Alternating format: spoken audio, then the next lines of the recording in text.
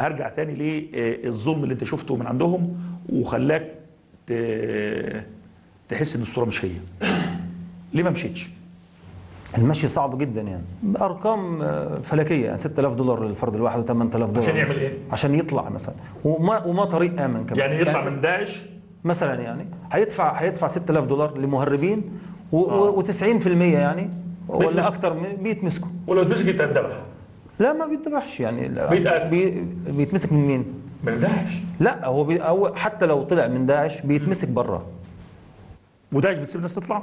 إيش؟ داعش يعني تيجوا تقولوا أنا يا جماعة اكتشفت إن أنتوا أي كلام باللغة المصرية يعني ده هيموتوه على طول لا مش على طول بس يعني هتاخد على عرض.